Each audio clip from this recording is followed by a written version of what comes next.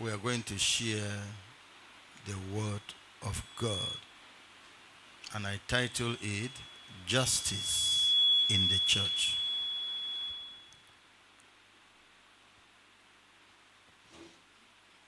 Justice in the Church. Let us pray. Father, we are praying to teach us justice in the church. Lead the church by a way of justice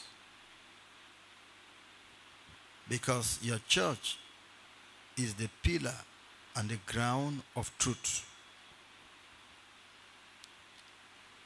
That the church might walk in truth and holiness. You have light, and in you there's no darkness at all. May we shine in the light of God. In Jesus' name we pray. In the book of John, First John, chapter 1, verse, verse 5 and verse 6. This then is the message which we have heard of him and declare unto you that God is light and in him is no darkness at all. Verse 6 If we say that we have fellowship with him and walk in darkness, we lie and do not the truth. The God we serve is light. There's no darkness in God. Light means righteousness, correctness, truth. That's the nature of our God. There's no error, no darkness in God.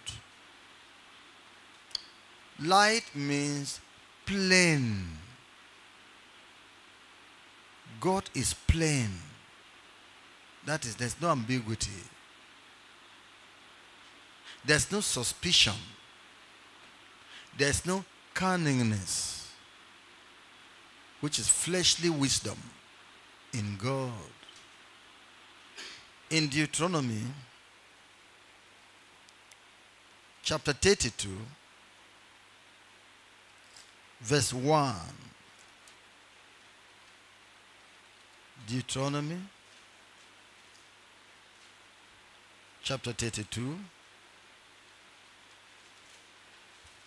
I read from verse 1.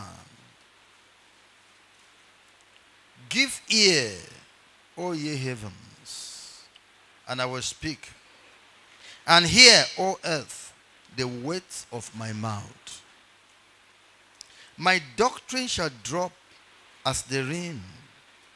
My speech shall distill as the dew, as the small rain upon the tender herb, and as the showers upon the grass. Because I will publish the name of the Lord, ascribe ye greatness unto him. Describing him in verse 4, he is the rock. His walk is perfect, for all his ways are judgment, a God of truth and without iniquity. Just and right is he. Don't use your arrow to justify God. Don't use your sin to support God. Don't use your cunning wisdom to defend God. Don't use your brain, insufficient brain, to help God. He is perfect. Follow Him. Don't think there is risk in the righteousness of God. There's no risk. Don't think there will be shame for those that follow God's righteousness. No. There's no shame. Serve God uprightly, perfectly.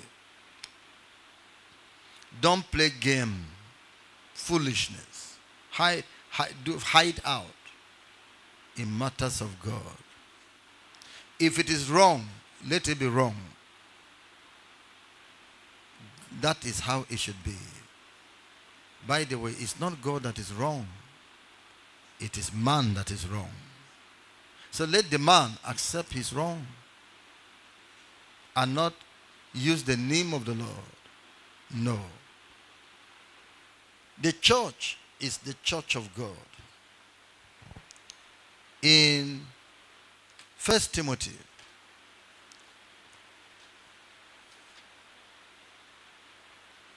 First Timothy we read First Timothy chapter 3 from verse 15.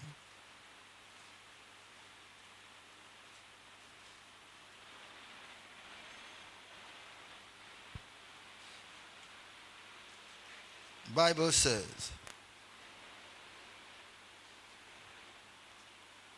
15 and 16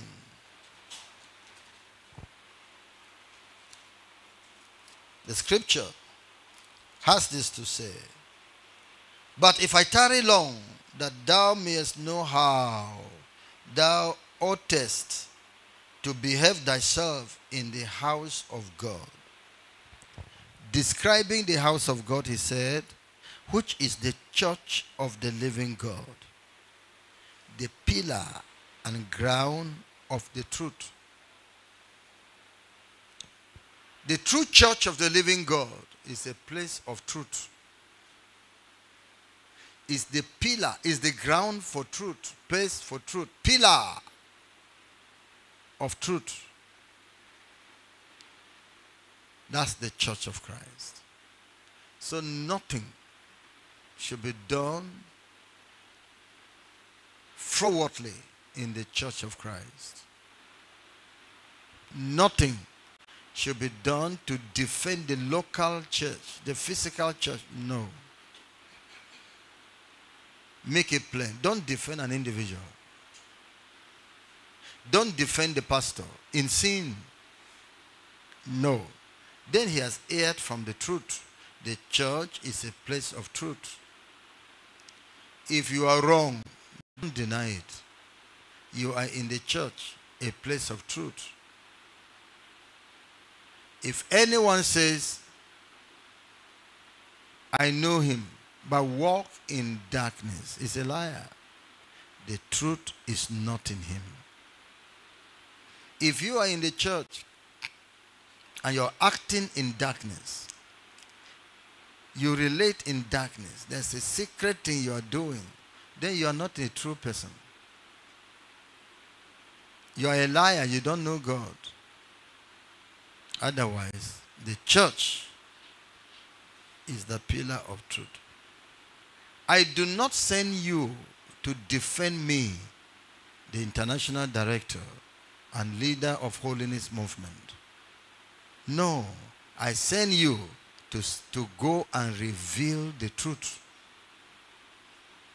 Go and show the truth if it is revealed that I do wrong, stand, let the truth reveal it. Stand by the side of the truth. Otherwise, you'll be bringing darkness to the church. The pillar and ground of truth. Speak the truth. Don't defend somebody in a lie. It is darkness. It is darkness and God would not that.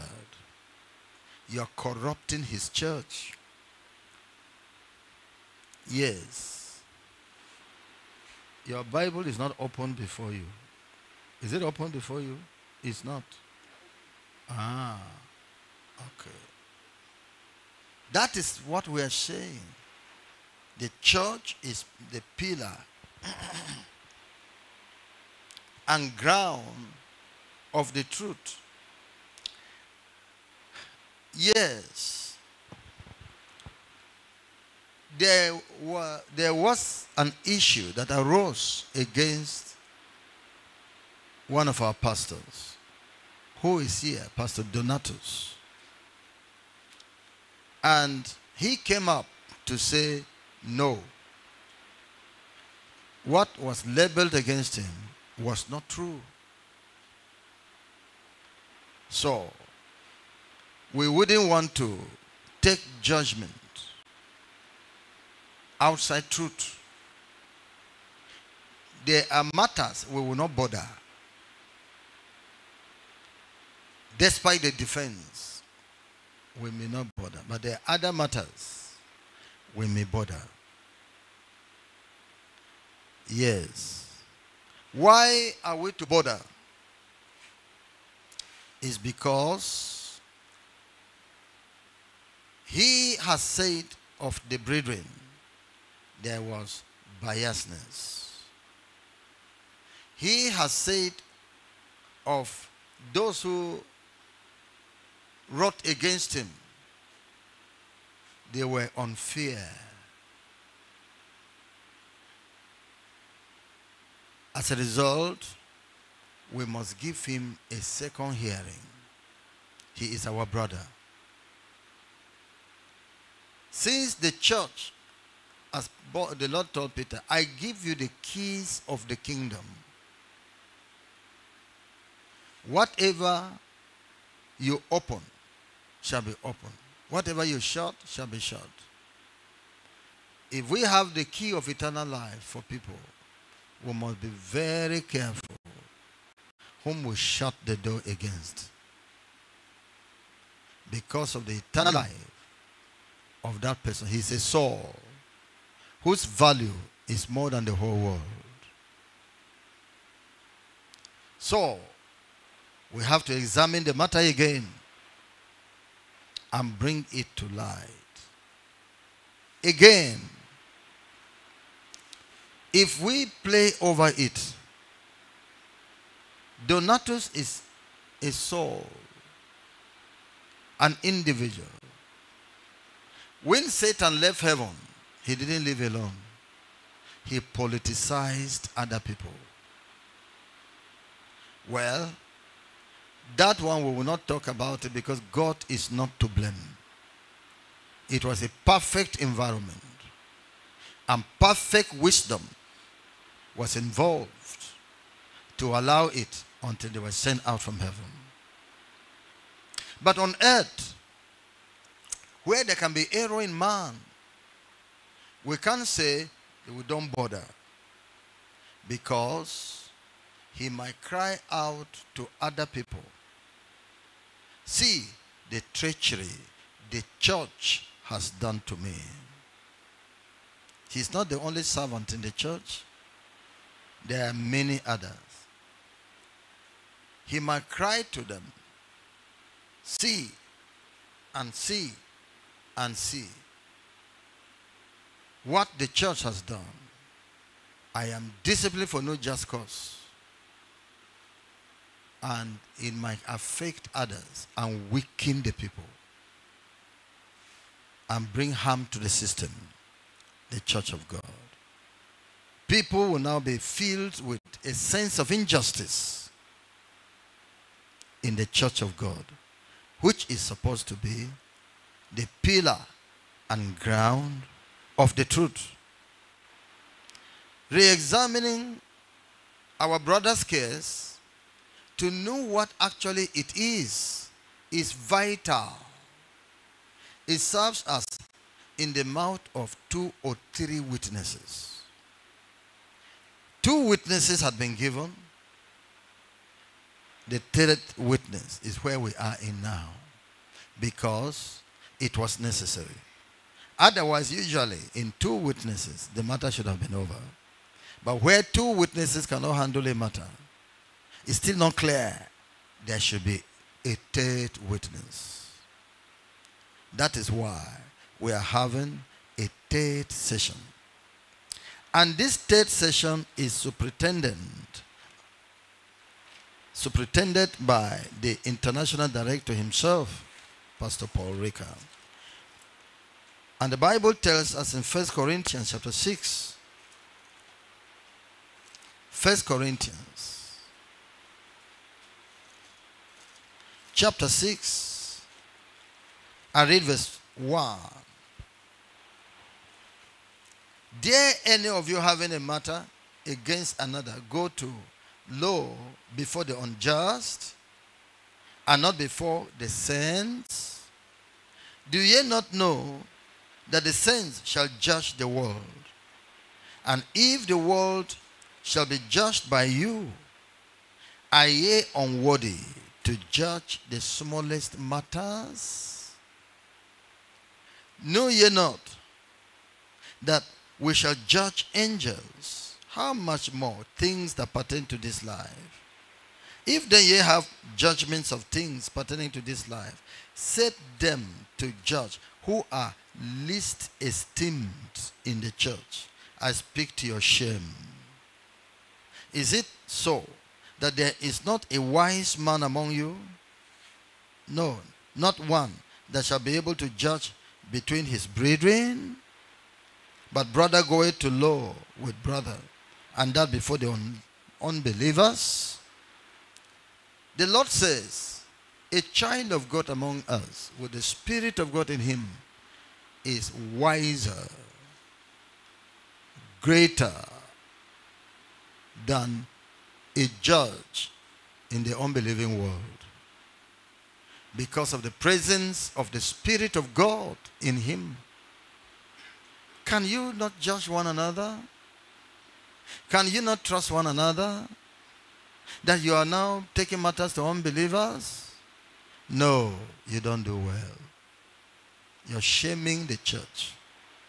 So, by this, the Lord has given us confidence that when we come together, as we are now, even having the general leader, the international director, as the judge, we should expect truth, plainness, righteousness in such matters.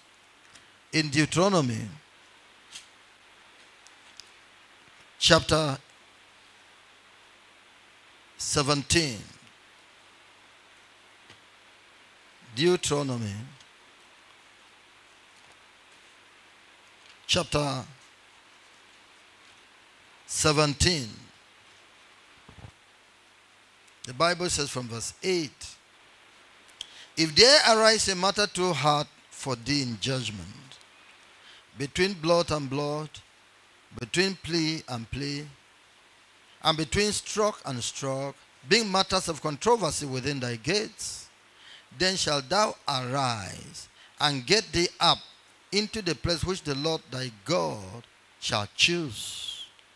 And thou shalt come unto the priests and the Levites, and unto the judge that shall be in those days, and inquire, and they shall show thee the sentence of judgment. And thou shalt do according to the sentence which day of that place, which the Lord shall choose, shall show thee. And thou shalt observe to do according to all that they shall inform thee. Here is the Supreme Court. If there have been cases among you in your states and nations, in your chapters and units, there have been problems among you that you could not solve. Judges of 10, judges of 20s, of 50s, of hundreds, of thousands could not handle.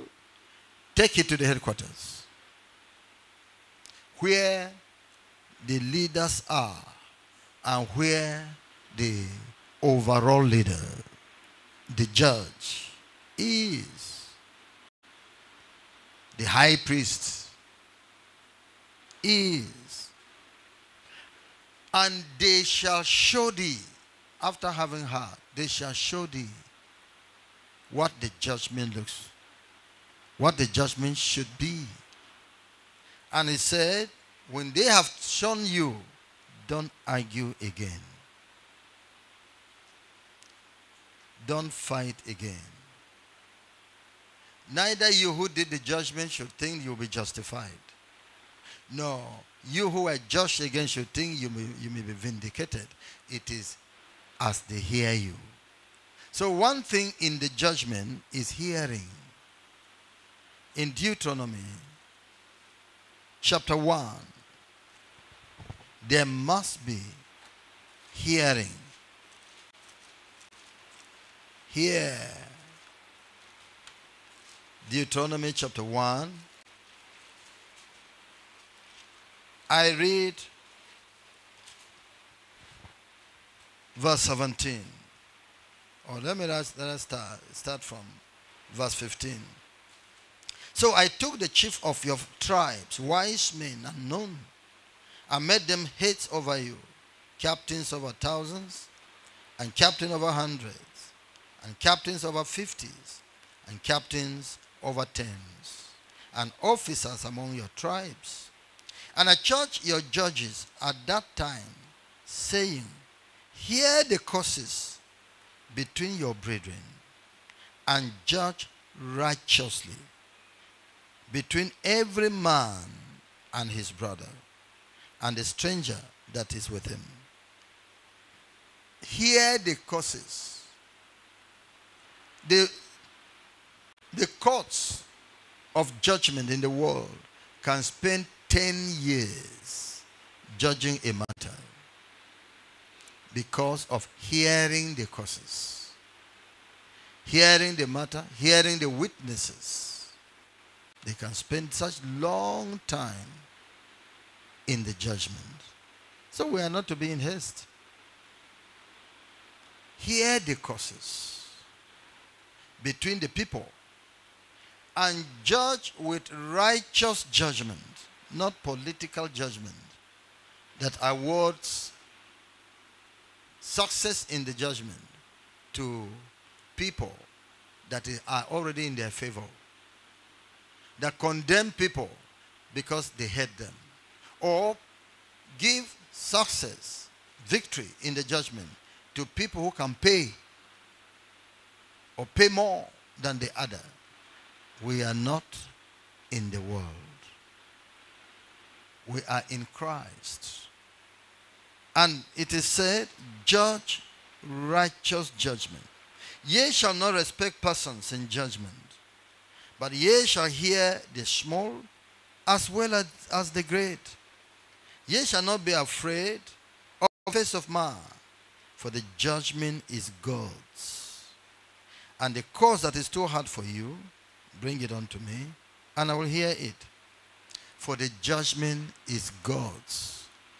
God is the one that occasioned the judgment because he wants justice. He wants truth. So, don't do a thing of your interest. God will know. Don't speak lies in judgment. It's terrible to cover the truth. It shows you are in darkness. Don't show favor. And so, coin it in a way. Don't. To do so, you are in darkness. The truth is not in you, for God is light. The Bible tells us mercy and truth have met together. For God to show mercy, there must be truth. If you cover the truth, then there can be no mercy. Whatever mercy is generated will be temporal. Because the truth, which is the twin brother, is not made to follow. A man alone cannot give birth to a child. A woman alone cannot give birth to a child. It takes a man and a woman to give birth to another person, a child. So, mercy is standing alone, it's not blessing people. Truth is standing alone, it's not blessing people. It is when truth comes that and mercy meet together with it that they produce justice, blessing, freedom, real salvation. So, if you cover the truth, the individual will not get salvation. We are not in the court of law. We are before God. If you say the truth, the truth may be very bad. In fact, the truth may require greater damage on that person. The truth might require even the date of that person. Excommunication from the church, but that is the best for your life and for the life of that person and for the life of the church. In Deuteronomy chapter 13, the Bible says, yes, verse 6, Deuteronomy chapter 13, verse 6.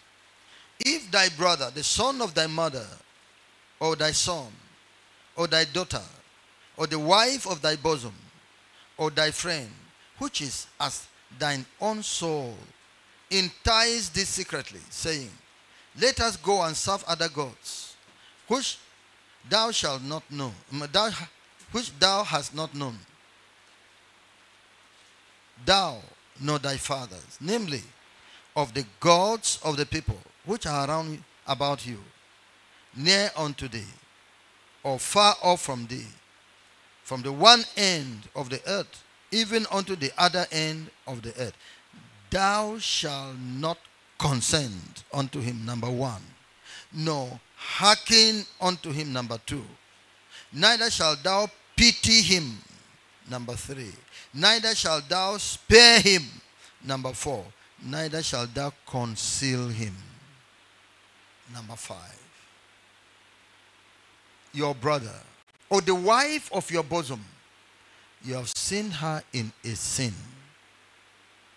You have seen him, your brother, in a sin. Your husband, you have seen him in a sin. Treacherous sin. Damnable sin. Disqualifying sin. Don't hide him. Don't hide her. Don't say, if I report my wife, my work will stop. Who told you? Does not God reward justice? Does not God reward truth? Don't say so. Don't say, if I report my wife or report my husband, he may leave, he may not marry me, he will drive me out of the house. Then will you submit to mortal man than to the living God? Will you please man than God? How much you who say, I pity him. I don't want the church to do evil against him, to discipline him, to drive him away, to deny him salary. Pity? The Lord said, Don't pity him. Jesus said, Please don't pity man, pity me, who left my throne, came down to the earth, and went to the cross for man. Pity me. Should I do all this and go empty handed? Should I go do all these things and man dooms the others? And you say you, you oh no, you don't want. Many of you will never make heaven because you hide iniquity. Exposing sin means preaching against sin. Hiding sin is shutting your mouth over sin. And the blood of that person is in your hand. Then which heaven are you going? You sow sin. And the Lord says, cry aloud and spare not, and show my people their sins, the house of Israel their transgression. Micah said, Truly I'm full of power of the Holy Ghost or Holy Spirit to declare unto Jacob their sin. But you, you hide it because you are pity, pitying man. You won't make heaven. You are not with Jesus. He that gathereth not with me, scattereth. I come to save sinners, but you are hiding sinners. How are you walking with Jesus? I told my own. I, I leave him alone. Let uh, another person. That's what Moses said. God, send another person. God said, I came to you. Why are you asking me to go to another person? I opened this matter up to you. And you are telling me, go, go and open to another person. Are you not stubborn? Then what did I create you for? I can't use you the way I desire. I cannot use you the way I desire. How then do I reward you? Of what benefit? A salt has lost its saltiness and is dense for good for nothing than to be trodden underfoot by men. Otherwise, what's your value? You're not gathering with me. You're not saving souls with me. Is it not when sickness is discovered that it can be treated? But you refuse. The man, the man is, is brought to your own laboratory to test and show what sickness. So that the sickness can be treated. It's ah, the way I look at it, I don't want to reveal the sickness that is in this man. He can't stand the revelation. He can't stand what the, stand what the machine will say. Because this man, as I'm seeing him now, I don't think he will last for three months. So you don't also want him to leave? You don't want to bring out the sickness so the man can be treated? You don't want to bring out the sin so the man can be shown mercy? You cover the truth. Mercy is denied that man. Mercy will be denied you. As you do it for the other, it shall be done for you. Do to others what you expect them to do unto you. That's the golden rule. If man cannot satisfy that, God will satisfy it. The golden rule. If he does not do it on earth, he will do it when you leave the earth. The golden rule. Because you are not with him. So, the judgment is of God. Judge with righteous judgment. I was preaching a message on marriage. As I was preaching, somebody came at the came at it and, and hurt me. At that time, I was speaking to women. Submit to your husband. Obey your husband. Look up to your husband. He is the savior of the body. As the church is subject unto Christ. So be subject to your husband. The man stop and say, see, unbalanced message. Uh-uh. Why not take more to listen? Why don't take more time to listen? You're just interested in fault. Have, have you taken what I will say as the message proceeds? Do you even know when I was running a series and had talked to the husbands? Now it is the wife but what is unscriptural? They cannot find unscriptural thing. He says balance Because see, he's talking to wife, he didn't talk to us. he didn't talk to husband. Can you imagine that? So you hear something, you didn't hear it well. You didn't examine it. You didn't hear the other side of it. You condemn. God doesn't want that. That's what they did against him when he became man. Yes, murmurers, backbiters, gossipers. Just, oh, he did it to you. Is he doing it to everybody? What is the circumstance that made him to do it to you? Did you take your time to judge? Did you study yourself? Did you look well uh, over yourself to know whether it is this man's character or it is just one case in you and that's all. So it tells you you must be careful. Be very careful. Yes. So that you don't carry yourself into damnation. You don't carry yourself into That's what I want to let you know. Yes. In Acts of, of Apostles chapter 25,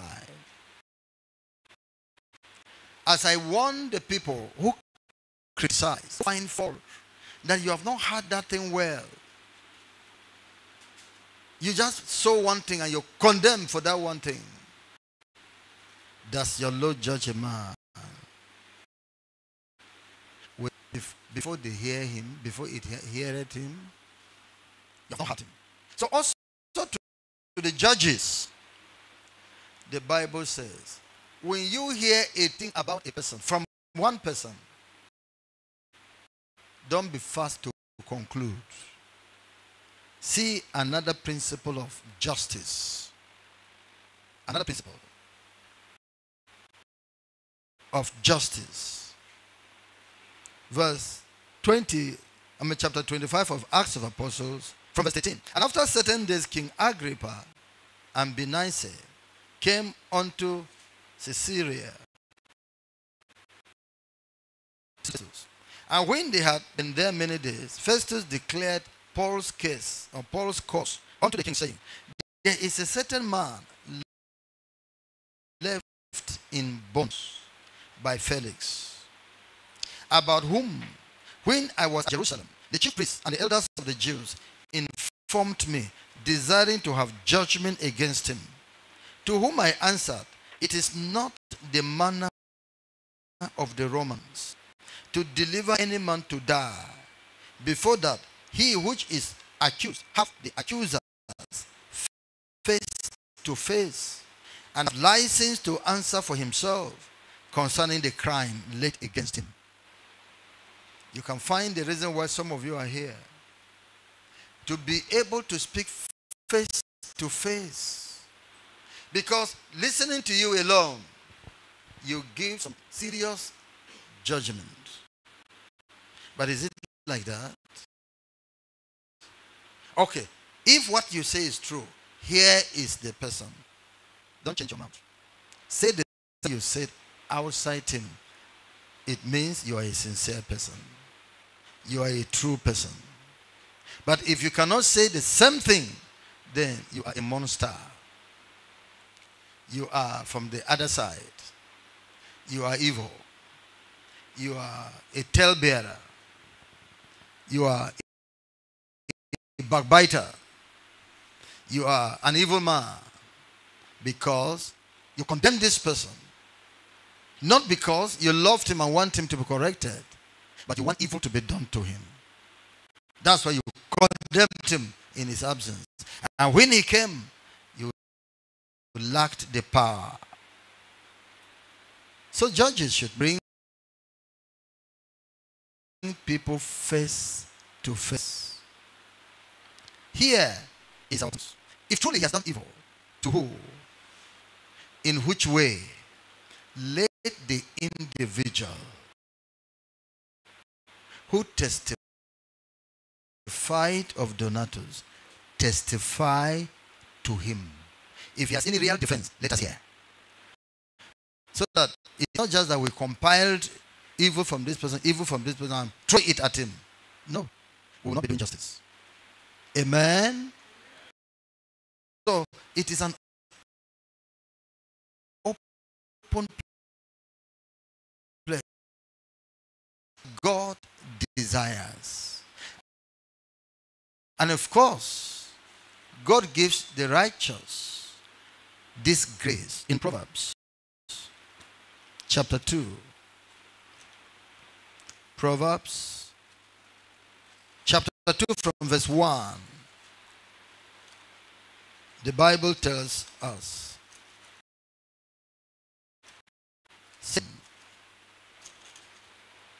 My son, if thou wilt receive my words hide my commandments with thee, so that thou incline thine ear unto wisdom, and apply thine heart to understanding.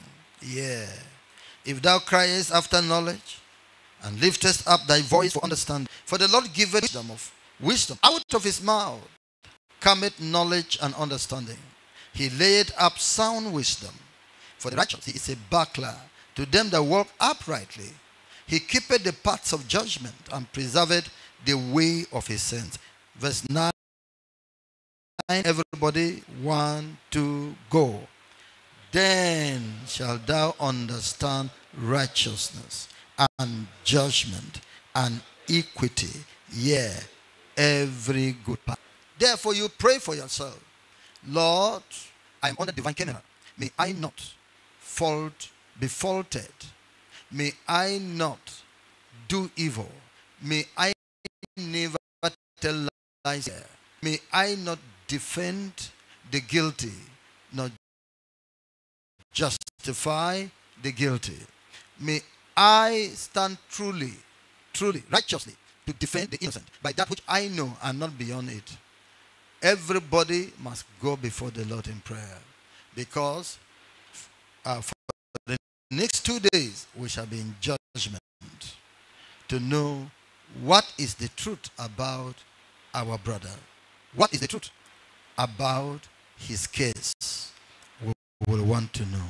Rise up upon your feet and go before the Almighty God for yourself that you will be right, you will be righteous, you will find grace. You will find understanding. Wisdom will be given to you. In Jesus' name.